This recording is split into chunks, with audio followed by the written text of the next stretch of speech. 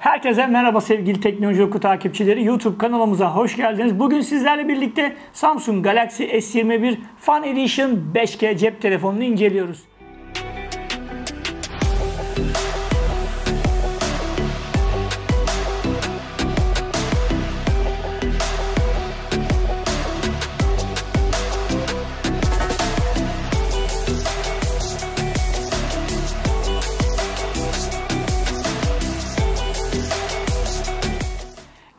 Günlerde biz bu telefonun bir böyle ön incelemesini yapmıştık. Orada da hem fotoğraf örnekleri hem telefonun kendi özellikleri ve video örnekleri de sizlerle paylaşmıştık.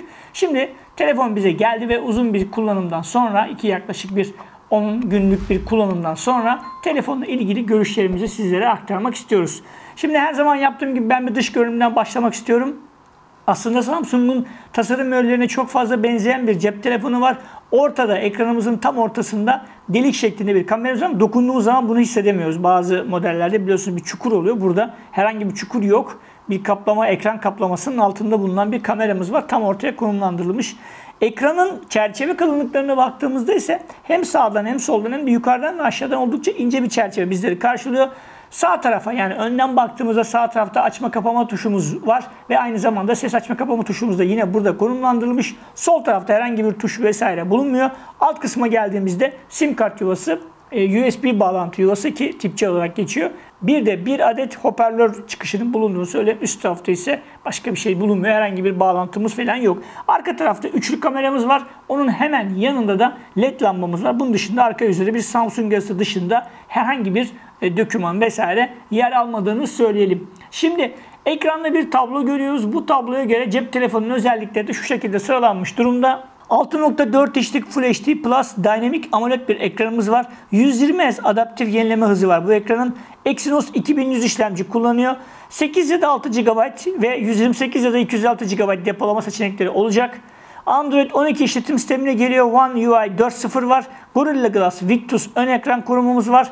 Glasstic arka ekran korumamız var. 12 ve 8 olmak üzere ki ikinci 12 ultra geniş açı 8 megapikselde telefoto kameramız var. Ön kameramız 32 megapiksel. Hem ön hem arka kamera burası önemli arkadaşlar. 4K 60 fps video kayıt yapabiliyor. Telefonun hem ön hem arka kamerasından 4K 60 fps video kayıt alabiliyoruz. Kablosuz şarj desteğimiz var. Kablosuz ters şarj desteğimiz bulunuyor. 5G desteği var isminden de anlaşılacağı üzere. 4500 mAh'lik bir pilimiz var. 25 wattlık kablolu hızlı şarj desteği olduğunu söyleyelim. 8 GB RAM, 128 GB'lık sürümün 10.899, 8 GB'lık 256 GB depolama alanı sürümün ise 11.999 TL olduğunu belirtelim. Şimdi gelelim telefonla ilgili yaşadığımız deneyime. Biliyorsunuz Samsung böyle orta ve üst seviye modellerde iki farklı işlemci türünü kullanıyor. Bir tanesi Çin, Amerika ve Güney Kore'de piyasaya sürdüğü modellerde kullandığı Snapdragon, bir tanesi ise kendi geliştirdiği Exynos. Genelde Türkiye pazarında Exynos'lu modeller satılıyor bu arada. Özellikle bu orta ve üst seviye modellerden bahsediyorum. E, benzer bir durum e, S21 Fan Edition içinde geçerli. Şimdi bu telefonun bir de Snapdragon 888'i sürümü var. Henüz Türkiye'de bulunmuyor bu sürüm. Kullanılan işlemcisi Exynos'un 2100 sürümü. Exynos'un bu işlemcisi de günlük işler için fazlasıyla performanslı ve herhangi bir şekilde sıkıntı çıkarmıyor. Ama bu konu çok tartışılan bir konu olduğu için özellikle anlatmak istedim. Çünkü biliyorsunuz Samsung fanları böyle yani neden işte Snapdragon'u gelmiyor, niye Exynos geliyor falan diye çok da bir böyle bir bu kamuoyunda oluşmuş bir tepki de var. E, Exynos'un uzun vadede biraz daha düşük performans sunduğu, Snapdragon'un daha iyi performanslı olduğu gibi iddialar da yine piyasada bulunuyor. Ancak şöyle bir durum var. Biz bir karşılaştırma videosu da çektik. Onu da yukarıdan linkini size paylaşacağım. Oradan da izleyebilirsiniz. Bu modelin bir önceki sürümünde yani S20 Fan Edition'da da yine aynı durum söz konusuydu. Bir Exynos'lu sürüm vardı, bir Snapdragon'lu sürüm vardı. Snapdragon 865 ile geliyordu. Şu an Türkiye pazarında her iki sürümünde satıldığını söyleyeyim. Yani S20 Fan Edition almak isterseniz hem Snapdragon'lu hem de Exynos'lu sürüm satılıyor. Ama S21 için şimdilik sadece Exynos'lu sürümün Türkiye'de olduğunun altını özellikle çizmiş olayım arkadaşlar. Gelelim performansa. Performans tarafında bir sıkıntı yok. Günlük işlerimizi fazlasıyla görüyoruz. Oyun vesaire gibi işlerde de PUBG olsun veya diğer mobil oyunlar olsun rahatlıkla oynayabiliyorsunuz. Isınma, kasma, donma filan gibi sorunlar yaşamıyoruz. Zaten yaşamanız da mümkün değil. Kullanılan işlemci ve diğer donanım özellikleri oldukça iyi olduğunu söyleyelim. Dynamic bir AMOLED ekran var. Şimdi önceki sürümde yani S20 Fan Edition'da Super AMOLED kullanıyordu. Bunda Dynamic var. Burada gerektiğin durumlarda örneğin oyun oynarken ya da film izlerken e, hertz yani ekranın yenileme hızı otomatik olarak yükseltiliyor. Siz ayarlayamıyorsunuz ama telefon sizi yerinize ha bu kullanıcı şu anda bir oyun oynuyor deyip o oyundaki FPS'yi yükseltiyor. Ya da şu an bir şey yapmıyor, internette geziyor, yüksek bir FPS değerine gerek yok deyip ekranın e, yenileme hızını düşürüyor. Yani dinamik bir e, sistem kullanılmış ki daha önceki S21 ailesinde filan da karşımıza çıkan bir özellikti bu. Burada da kullanılmış. Bu arada belki şunu merak edenler olabilir. Hani Fan Edition ne demektir diye belki bunu merak ediyorsunuzdur bilmeyenler için söyleyelim. Fan Edition şu demek arkadaşlar. Samsung'un fanları tarafından istenen özellikler bir telefona ekleniyor ve bu telefon bu şekilde piyasaya sürülmüş oluyor. İşte bu Fan Edition'da 2 yıldır yani 2 yıldır derken 2 seridir aslında Samsung'un modellerinde karşımıza çıkıyor ve bu sayede de gayet güzel bir deneyim sağlanmış oluyor. Yani S21'in de var bu şekilde bir Fan Edition'ı var. Şu anda zaten bunu test ediyoruz. Bir de S20'nin de vardı. Aynı şekilde fanlardan gelen yani hayranlarından gelen, markanın takipçilerinden gelen yorumlarla yeni bir telefon oluşturulmuş oluyor.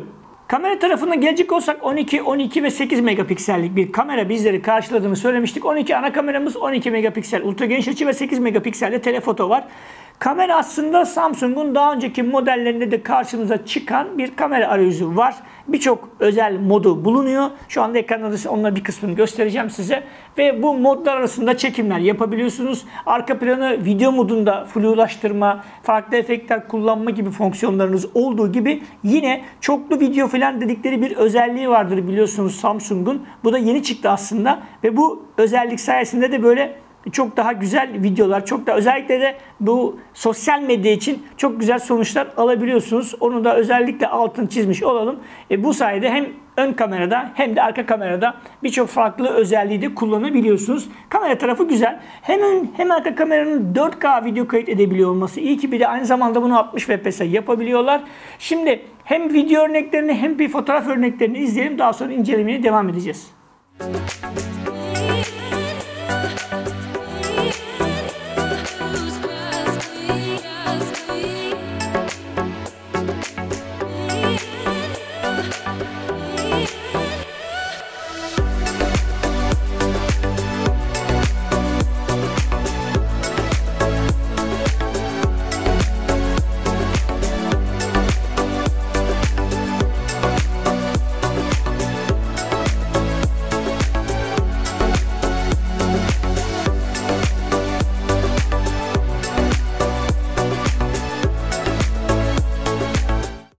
İzlemekte olduğunuz bu videoyu Samsung Galaxy S21 Fan Edition'ın ana kamerasını kullanarak kayıt ediyorum. İşte 4K 60 FPS bir video kaydettik.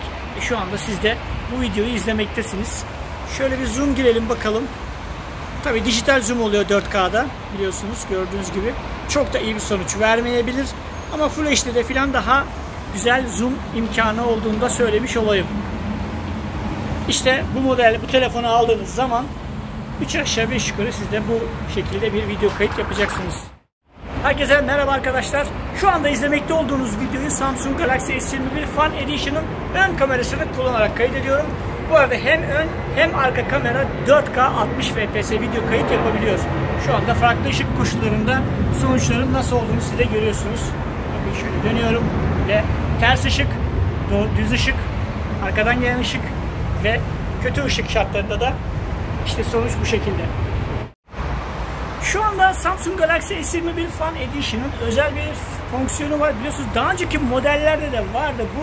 Arka planı şu anda mesela bakın biraz daha net hale getirdim. Ve gerçek zamanlı bunu flu hale getirebiliyorum.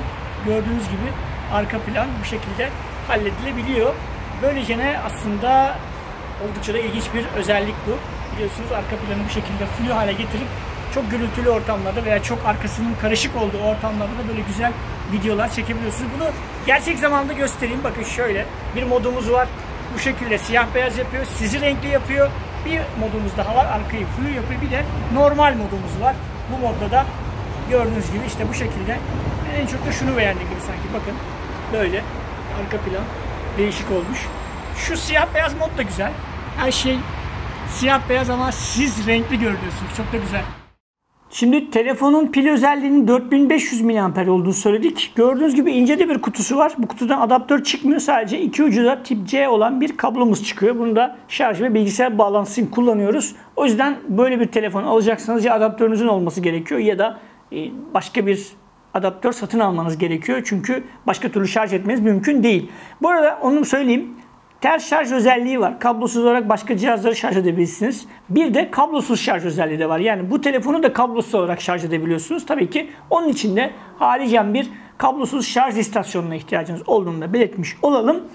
Pil tarafında bir buçuk iki günü çok rahat görüyorsunuz. Onda bir sorunumuz yok. Tabii ki ne yaptığınıza göre yani çok oyun oynarsanız, çok film izlerseniz tabii ki bu pili daha hızlı bitirirsiniz ama günlük kullanımda, normal bir kullanımda bir buçuk iki günü çok rahat bir şekilde görebiliyorsunuz. Kablosuz şarj desteğinin olması güzel. Ben bunu beğendim. Ters kablosuz şarjda her gün belki ihtiyacınız olmaz ama lazım olduğu zaman da saatti, kulaklıktı, hatta diş fırçası falan gibi cihazları da şarj edebileceğiniz anlamına geliyor eğer onlar da kablosuz şarj özelliğini destekliyorsa. Şimdi gelelim ürünün fiyatına. Samsung Galaxy S21 Fan Edition 5G modelinin biz bu incelemeyi yaptığımız tarihteki fiyatı 10.800 civarındaydı ama piyasada 10.500 liraya falan da bulabiliyorsunuz farklı satıcılardan onları da söyleyelim ve Samsung Türkiye garantili modellerden bahsediyorum. E, bu kadar verilir mi? Bu fiyat verilir mi? Değer mi? Değmez mi? Açıkçası ciddi rakipleri var. İşte iPhone modelleri var. var farklı amiral gemisi cep telefonları da var. Hani onlar varken bu tercih edilir mi? Bu birazcık ne beklediğinize bağlı telefondan. Ama rakamın yüksek olduğunu söyleyeyim. E, kurlar arttı. E, diğer özellikler arttı. Ama mesela S20 Fan Edition 6800 liraya falan satılıyor. Yani bir önceki sürüm şu anda 6800 satılıyor ki o sürümün hem Exynos'lu hem de Snapdragon'lu versiyonları bulunuyor hali hazırda. Snapdragon'lu bir sürüm 2865 var onda. E, 6800-7000 liraya alabiliyorsunuz. Hani o fiyat makul diyebilirim ama bu model için konuşacak olursak 10 bin liranın ben birazcık yukarıda olduğunu düşünüyorum. Hani düşerse böyle bir 8 bin civarına falan inerse fiyatı daha makul olur. En azından özellikler açısından ve rakipler açısından baktığımızda daha alınabilir bir noktada olur diye düşünüyorum. Bir incelemenin daha sonuna geldik sevgili Teknoloji Oku takipçileri. Bu videomuzda sizlere Samsung Galaxy S21 Fan Edition 5G cep telefonunu anlatmaya çalıştık.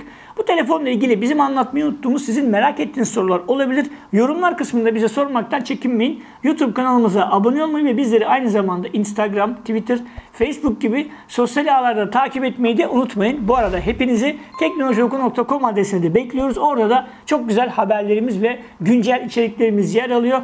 Orayı da ziyaret ederseniz çok seviniriz. Kendinize iyi bakın. Hoşçakalın.